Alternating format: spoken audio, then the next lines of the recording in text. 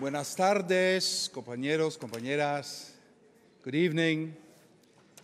No long speech for me tonight. I'll keep that for tomorrow. And especially after the wise and thoughtful and inspiring words of Pepe Borrell, what could I add more? And saying this, somos todos europeos, somos todas europeas. This is what I kept from his speech. You were clapping a lot because a lot was said. And I was thinking, listening to all the clapping, of uh, a story that uh, was once told by the late, great, inspiring Robin Williams. He said at some point he was at a U2 concert in Glasgow. And at some point, um, Bono, with his inspiration, stood up and wanted to make a plea for more aid for Africa. And he was clapping his hands above his head. And he was shouting, Every time I clap my hands, a child dies in Africa. And from the back of the room, a Scotsman yelled, yelled, For God's sake, man, stop clapping! what I'm trying to say is this we have good plans, we come with solutions.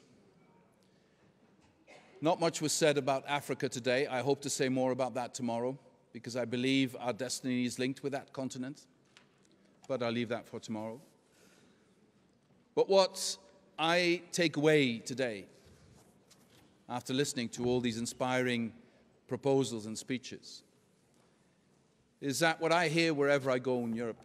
From our opponents, from those whose only plan is to destroy the European Union, is that they have many plans to break, to destroy, to rip apart. Especially, they have many plans to rewrite history because apparently they think they own the present, and he who owns the present owns the past. And once you own the past, you can create the future, creating a false image of the past, as Orwell, Orwell has said. And we should not be drawn into this false game of trying to chain people to their fears by rewriting the past.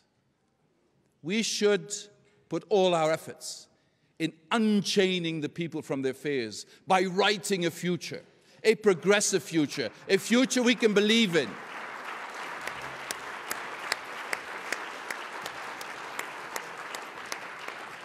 If there is one thing the history of our of movement shows us, only one thing it shows us, is the incredible liberating effect from removing fear from people's lives.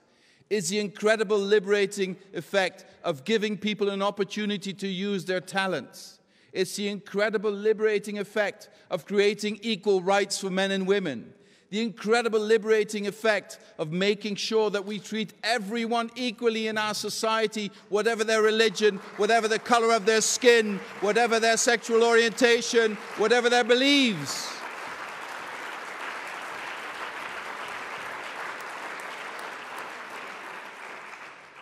Fear is a prison, is a cage. We should open that cage and let people out, giving them plans for the future. We should do something about the housing crisis. We should make sure that we put an end to the disgrace that in some member states there is still no minimum wage. These are very concrete projects, and you have heard them today. And yes, campaigns of hatred against us and others will continue. Yes, that is true. But with the next poster that is invented by Viktor Orban with more lies, we could say that money you spent on posters and lies, you've been spending for years, dozens and dozens of millions of euros of taxpayers' money. Couldn't you have used that money to do something about the fact that in 400 districts of Hungary there is no doctor for your citizens?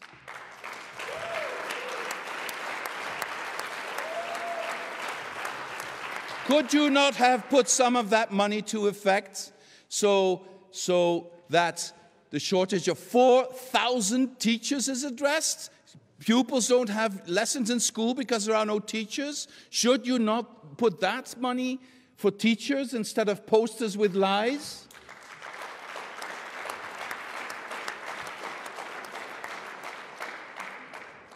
And perhaps it would be more graceful and more helpful to the women of your country if you would provide for daycare, if you would provide for equal pay, if you would provide for opportunity for young people in Hungary instead of seeing all these young Hungarians leave for other countries.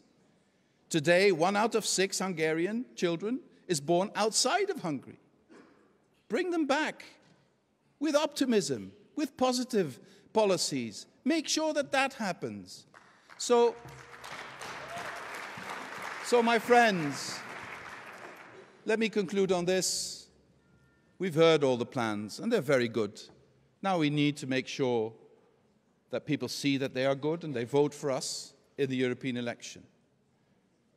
And when we will be attacked viciously, when they start throwing lies at us, every lie we get we give back a fact. Every insult we get, we give back a nice word. Every time, every time they turn their backs to us, we stretch out a hand to make sure that we work together with people of goodwill. We will not go as low as they are by spreading hate. We will bring hope.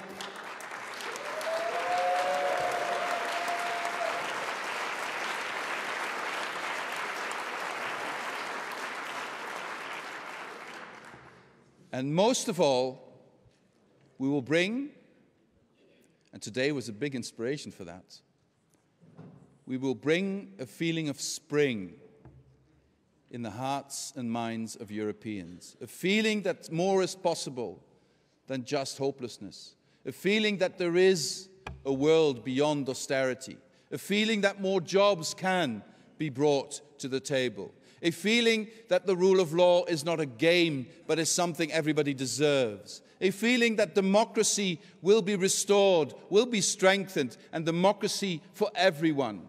A feeling that our new and young generation feels part of a construction that is a European construction that has brought peace for more than 70 years to this everly war torn uh, continent.